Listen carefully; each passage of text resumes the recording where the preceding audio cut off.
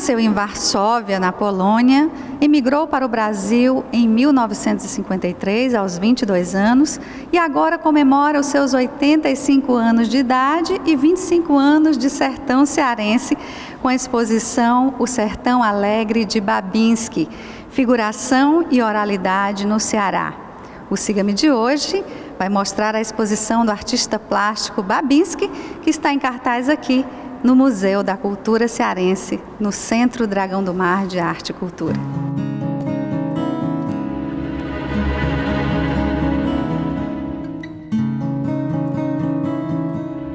Babinski, obrigada por nos receber aqui.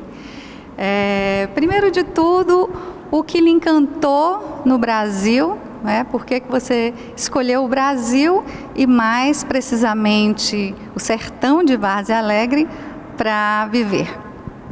Bom, isso ah, você pode olhar para meu aspecto físico, é uma longa história. Uh, cheguei aqui em 53, no Brasil, no Rio de Janeiro, tinha 22 anos. Eu vinha do Canadá, para onde minha família emigrou para sair da Europa no pós-guerra. Meu pai tinha medo que ia ter outra guerra e quis sair da Europa. Então ele conseguiu visto para o Canadá e lá fomos para o Canadá. Lá eu estudei, tive um, um curto período de formação formal, né? E logo fui virando artista muito novo conhecendo artistas e foi muito importante para mim que comecei a ser artista no Canadá. E esse período, não posso negar, foi uh, me formou em muita coisa. E mas por outro lado, o Canadá era naquela época, 1948, 49, 50, inóspito. Uh, tinha muito desemprego, as pessoas estavam frustradas. Enfim, era um tempo difícil no Canadá. Né? E, além, sobretudo, do clima gelado, seis meses de inverno, e eu sonhei, quando eu vi os meus amigos canadenses se acabando, não, eu quero viver, eu quero viver num lugar mais ameno, menos reprimido, uh, com, com mais beleza. Porque o Canadá, o Canadá é difícil, lá só tem uns três, quatro tipos de árvore, entende? Então olha a diferença, né? Mesmo no sertão você tem milhares de espécies de animaizinhos, insetos, uh, a vida. Uh, eu queria ir para um lugar mais, com mais vida, no fundo, para simplificar, né? Aí vai tudo, mais vida, aos 22 anos, significa um monte de coisa, né? Então vamos conhecer, caminhar aqui pela exposição, o Sertão Alegre de Babinski. Então, como em volta da minha casa nós conservamos uma matinha de caatinga natural, Nessa entrada nós temos um quadro de 2009 que ainda é. Uh, no começo eu estava olhando pela porta do meu ateliê e vendo a caatinga sem folha. Né? Essas cores vivas é interessante se você quase que fecha os olhos, fica preto e branco, você para de ver uh, as cores e fica. Se você pudesse fazer isso com a câmera, seria muito interessante, diminuindo a abertura da lente, as cores somem e fica um quadro quase em preto e branco e adquire um realismo muito maior. Tá? E desse lado aqui tem uma gravurinha de 2013 que é o mesmo assunto. É como eu consegui uh, representar a caatinga na outra linguagem que é a gravura que tem nessa exposição. Caminhando aqui um pouco mais, nós então, nos deparamos com essa belíssima peça. É, o que o senhor retratou aqui? Isso é, é um quadro que muito difícil, porque uh, um momento de uh, dúvidas a respeito do futuro da humanidade, eu acabei representando o que eu considero ser uh, o fim da civilização ocidental, pelo, pelo fogo, pela água, pelo ar apodrecido, enfim, a morte da civilização, não é nada alegre. É o menos alegre de todos os quadros na exposição mais à frente. É, o senhor, é, como é que foi a influência, uh, o seu relacionamento com o grande artista Oswaldo Guild, né, e outros artistas brasileiros que o senhor teve a oportunidade naquela, de trabalhar junto? Naquela época, como o jovem Babinski no Rio de Janeiro, e como para outros artistas jovens, o Guild era uma referência de uh, coragem em viver num ambiente que não, não era nada uh, especialmente aberto para artistas. Né? Então ele, ele foi um exemplo para nós de resistência e de realização em condições difíceis que todos nós tivemos que passar. Então foi um pai. Ok, nessa obra, é o que o senhor é, quis retratar as cores? Não, aqui, ah, em todos os quadros, vocês vão notar que tem uma paisagem no fundo.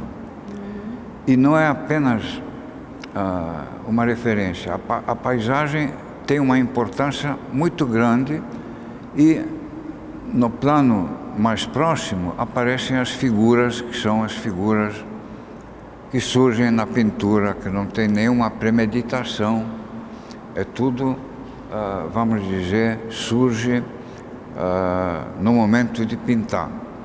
E curiosamente no meio tem uma caminhoneta que é o que apareceu no sertão nos últimos anos. Muita gente tem carro, caminhoneta e uh, eu pensei no contraste das pessoas com a caminhoneta que está no meio e vamos dizer a caminhoneta no prego, ela, né? e as pessoas em volta. Então, essa referência de carro no meio do sertão, uh, eu quis mostrar aqui.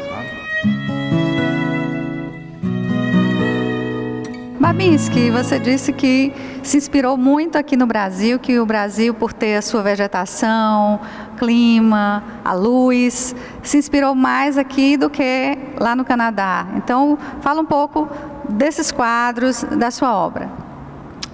Ok, neste pedaço da exposição nós temos mar, praia, são os contrastes do Ceará. E o sertão na seca, quando pega fogo. Isso é como se fosse depois de um incêndio na roça. Tá? Ah, se você olhar bem, você vai ver os, o terror que é um incêndio relâmpago na, na, na rocha. Né? Mais à frente? Aqui mais na frente nós temos, eu chamo os banhados, porque isso aqui é a água, a importância da água para animais e seres humanos nesse, uh, nesse nosso sertão. Né? Então a água banha e restaura as energias das pessoas. Né? Espantalho, uh, o espantalho para afastar os homens e não para afastar os pássaros pretos. Uh, o espantalho se levanta uh, para proteger a natureza da destruição pelos homens. Né? E... Outro trabalho que o senhor também se dedica é a gravura, não é? Eu gostaria que o senhor falasse a diferença da pintura para a gravura aqui nessas obras.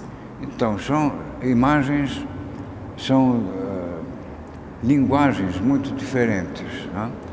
A gravura é formato pequeno, é minucioso, é complicado para fazer, existe, uh, exige muitas etapas até o momento que você cria alguma coisa na gravura. Então, os artistas, muitos artistas escolheram a gravura para complementar a, as linguagens que usam na sua arte, para os momentos que a criatividade anda em baixa e você necessita de fazer alguma coisa, mas que no fim vai proporcionar um momento que você pode criar alguma coisa. São etapas complicadas, mas que ocupam o tempo quando você não está muito inspirado. Aqui, por último, nós podemos é, ver o seu último, o mais recente quadro e a mais antiga gravura. Então, isso é uma gravurinha, a primeira da série de gravuras, chamou Casal. Então, eu, como se eu retratasse eu e a Lídia de uma forma uh, pouco convencional, uh, no ambiente rural. Então, isso é uma. As pessoas gostam disso porque é espontâneo. Tento conseguir fazer um desenho espontâneo numa numa técnica muito complicada, onde é muito difícil ter a espontaneidade que a gente admira muito. Né? E o último quadro, gostaria que o senhor falasse então, sobre ele. Imagina, isso foi feito há dois meses atrás, uh, no, no, calor da refrega política, e uh, a toda hora que eu olhava meu tablet, perguntava o que, que você está pensando por que, por que, vocês querem pensar? O que, que vocês querem saber o que, que eu estou pensando? Então, eu disse, o que estou pensando, quando eu pinto, eu estou pensando, é a linguagem visual. Então, isso, o, o quadro se chama É Isso que eu estou pensando. Tem pessoas para a direita, pessoas para a esquerda, um quadro meio violento, mas é a época que nós estamos vivendo. Infelizmente, ah, tudo reflete no artista. O que acontece em volta, a informação que ele recebe, tudo passa pelo corpo e pela mente do artista. Muito obrigada, Babinski. Parabéns pela sua exposição. Muito que obrigado. muitos anos de vida e arte que você consiga, Olha, continue a trazer coisas maravilhosas aqui para então, nosso Brasil. Eu agradeço ao Ceará, a Fortaleza, e aos meus amigos aqui de terem me proporcionado essa oportunidade para mostrar o meu trabalho a um público maravilhoso, para o povão, para o não povão, todo mundo misturado pode vir aqui e admirar o meu, a minha produção artística. Ah, isso é muita honra para mim e muito obrigado, Ceará, Dragão e o Brasil. Então, Babinski, muito obrigada por nos receber aqui. Parabéns pela bela exposição e que vem realmente enriquecer a nossa cultura. Olha, muito, muito, muitíssimo obrigado à Fortaleza, ao Ceará, ao Brasil, a Vargem Alegre e a minha esposa que tanto me ajudou nesses 25 anos para me tornar um, um artista mais ainda porque eu, eu considero essa época a mais produtiva da minha vida. É onde eu pude fazer avanços na pintura e na gravura. Muitíssimo obrigado. E o Sertão Alegre de Babinski vai ficar em cartaz aqui no Museu da Cultura Cearense. Até quando? A exposição vai ficar até o dia 31 de julho, Deus permitindo. Obrigada. E a entrada é gratuita. O Siga-me de hoje fica por aqui.